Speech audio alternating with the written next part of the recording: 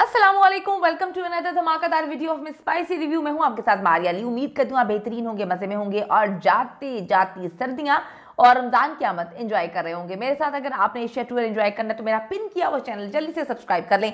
ये तो मेरी हकीकत असलियत दुनिया के सामने लेकर आ रहा है। मैंने तो बहुत झूठ बोले, लेकिन अब मेरे झूठ खुलना शुरू हो गए हैं। कोई कोइंदारों ने पहले शोहर की वीडियोज़ डिलीट करना शुरू कर दी। तलाक कब और किन शराइ पर हुई? कोई कोइंदारों बच्चों को किस तरह से साथ लेकर गई? आसिम बट जो कि दो बीवियाँ जो है भुगता चुका है, दो बीवियों को साथ नहीं रख सका। वो कोई दारों के दो अदद बच्चों को किस तरह से एक्सेप्ट कर रहा है? छोटे छोटे बच्चे हैं। क्या उसकी ज़िंदगी में रुकावट नहीं पैदा कर रहे होंगे? या फिर ये ये मामला है कि कुछ लाखों के गिफ्ट दे दिए और अब लाखों करोड़ों रुपया कमाना है कोइंदारों से। लाइव सेशन में उसको बिठा के टिकटॉक से जो है वो करोड़ों कमाने का प्लान बनाया हुआ था आसिम भट्ट ने। ये सारा क्या मामला है? आज की वीडियो में हम इस पर बात करेंगे। आपसे रिक्वेस्ट है, अगर अभी तक आपने चैनल को सब्सक्राइब नहीं किया, कर लीजिए। इससे हमारी हौसला अफजाई होती है। कोइन दारो जी, झूठ बोलने की वजह से फंस गई। मैं हमेशा ये बात बोलती हूँ, अगर आप सच बोलेंगे और सच कितना भी भयानक क्यों ना हो, लोग उसको एक्सेप्ट कर लेते हैं और दो दिन बाद भूल जाते हैं। लेकिन जब आप झूठ बोलेंगे और सबूत भी मौजूद होंगे तो लोग फिर आपको छोड़ेंगे नहीं, तिगनी का नाचना चाहिए सोशल मीडिया यूज़ करती हैं। उसके बावजूद इतना बड़ा भंड, इतना बड़ा ब्लंडर मार गई, ये भूल गई कि जी उसके सारे के सारे रिकॉर्ड्स जो हैं वो ऑनलाइन यानी कि यूट्यूब पे मौजूद है और मुख्तलिफ़ सोशल मीडिया प्लेटफॉर्म्स पे ये हर वीडियो बनाकर वहाँ पे डाला करती थी। इनको भूल गया कि वो टाइम, डेट और जो है हर चीज़ के साथ, सबूत के साथ मौजूद है। अपने शोहर के साथ कराची से जर्मनी जाती हैं और जाने के बाद कोई दारो जो है वो कुछ ज़्यादा खुश नहीं थी वहाँ पर भी। अक्सर वो अपनी वीडियोस में इसका इजहार करती रहती थी, कभी पैसों का रोना रोती थी, कभी अजीब गरीब कहानियाँ सुनाया करती थी। हालाँकि देखा जाए तो वो जर्मनी में भी काफ़ी घूमा करती थी और उसके बाद जो है वो दुबई भी घूमने गई थी, जहाँ पर उन्होंने जो है किन डॉल के साथ वीडियोस भी बनाई थी। तो ये तस्वुर किया जाता है कि वो अपने शोहर के साथ खुश थी, वो मी टाइम के लिए भी वक्त निकाला करती थी और अपनी दोस्तों के साथ भी वहाँ पर जाती थी, अकेली भी घूमने जाती थी, अपने शोहर के हवाले बच्चे करके। तो जब हर तरह की आज़ादी थी तो फिर क्या इस आज़ादी का फ़ायदा नाजायज़ उठाया गया है? वो खुश नहीं थी, वो अक्सर अपनी वीडियोस में नाखुशी, नाखुशगवार जो है, अपनी ज़िंदगी का इजहार करती रहती थी। किसी ने ये नहीं सोचा था कि वो इस तरह से दूसरी शादी करके जर्मनी से इंग्लैंड पहुँच जाएँगी। कोइंदारों ने अपने सोशल मीडिया से अपने पहले शोहर की तस्वीरें और वीडियोस अब एकदम से डिलीट करना शुरू कर दिए हैं।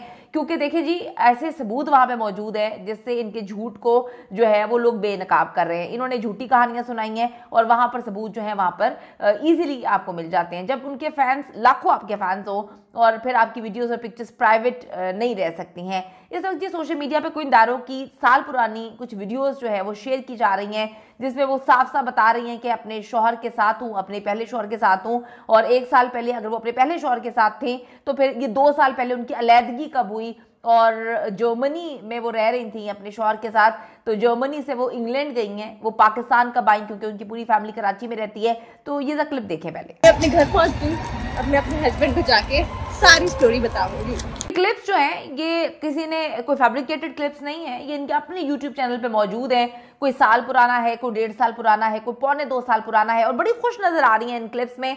मैं अपने शोहर से ये डिस्कस करूँगी, मैं अपने शोहर को वो बताऊँगी। शोहर भी उनका काफ़ी जो है वो अच्छा लग रहा है। इनकी वीडियोस में आ भी जाता है और काफ़ी डिसेंट लग रहा है, काफ़ी जो है वो डाउन टू अर्थ लग रहा है। लग ही नहीं रहा देख कर कि जी कोई एग्रेसिव किस्म का इंसान है या इसने जो है इसलिए उसको छोड़ा कि वो मारता पीटता था। अगर मारता पीटता होता तो इतनी आज़ादी सोशल मीडिया पर क्यों दी होती? ये बैठ कर टिकटॉक पर पैसे भी कमा रही थी। ये वहाँ पर जो है लाइव बैठी होती थी गिफ्ट मुझे तो खैर बड़ा वेट लगता है कि पता नहीं भांत भांत के लोग आते हैं और आप उनसे बैठ के जो है वो पैसे मांग रहे हैं गिफ्ट्स मांग रहे हैं, जो भी है। लेकिन उसके मियाँ ने कोई पाबंदी नहीं लगाई थी, वो वहाँ पे बैठ के मांग रही थी।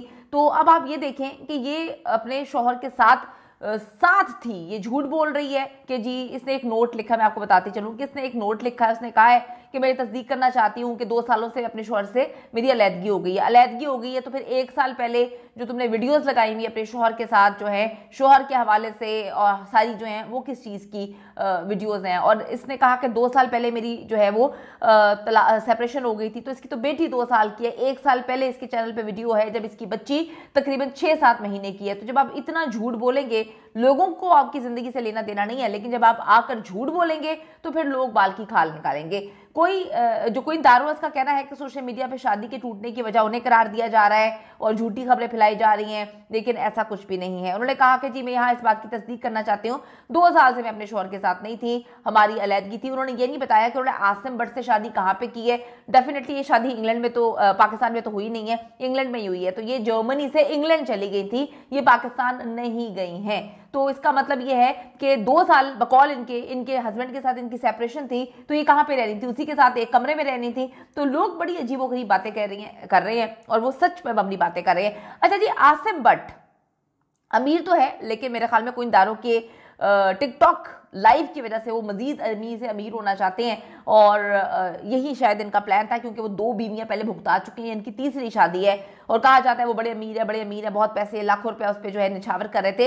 तो ये तो गेम होती है निछावर करना, लाखों रुपया और करोड़ों की असामी जो है अपने हाथ में ले लेना, क्योंकि कोइनदारों को बहुत सारे पैसे मिल रहे थे क्वाइन की सूरत में और वो काफ़ी दिन ब दिन अमीर हो रही थी। तो जैसे ही वो अमीर हुई, उन्होंने अपने उस शोहर को ठुटा करवाया, जो उनको पाकिस्तान, कराची से उठा के जो है जर्मनी लेकर आता है और एक बड़ी पुरसकून ज़िंदगी दी हुई थी, बड़ी आज़ादी दी हुई थी, जो मर्ज़ी उनका दिल चाहता था वो पहनती थी। स्काफ वो कहती है कि मैं अपनी मर्ज़ी से पहनती हूँ, लेकिन नीचे जो कपड़े वो वेस्टर्न पहनती थी, एक से एक महँगे से महँगा कपड़ा उनका शोहर ही लेकर देता था। लेकिन बड़ी अजीब सी बात है कि अचानक से जो है, उन्होंने कुछ टाइम में ही ये फैसला किया और उन्होंने आसिम, जो कि पहले दो शादियाँ भुगता चुके हैं, उन्होंने उनके दो बच्चों को एक्सेप्ट कर लिया। बड़ी मिस्टीरियस बात है कि आसिम की जो पहली बीवियाँ थी उनसे उनके कोई बच्चे नहीं है। आसिम क्यों चाहेंगे कि वो किसी के दो बच्चों को पाले भी और उनकी प्राइवेसी में दो अदद बच्चे जो है वो भी आए? अगर मैं इंग्लैंड की बात करूँ तो वहाँ पर कोई मेड्स होती हैं या पाकिस्तान की तरह कि आपने दो बच्चे रखे हैं तो आप दो मेड्स भी रख लें। तो वहाँ पे तो आपको बच्चे खुद ही संभालने हैं। तो आसिम क्यों इस बात पे राज़ी हो गए कि दोनों बच्चे जो हैं वो आप इंग्लैंड लेकर आए? मैं आपके बच्चों को जो है उनके सर पे हाथ रखूँगा।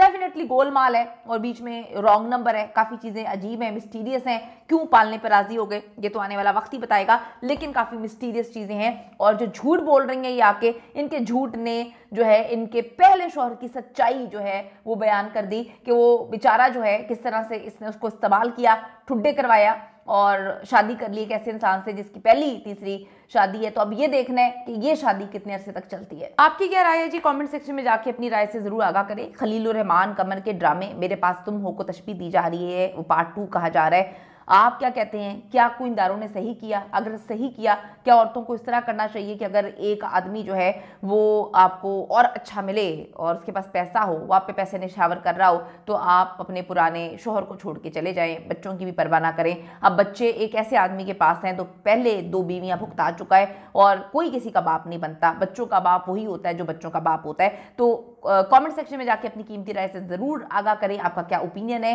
See you in the next video उम्मीद करती हूँ कि आप मेरे चैनल को सब्सक्राइब करेंगे। ये रिक्वेस्ट है क्योंकि इससे हमारी हौसला अफजाई होती है। See you bye bye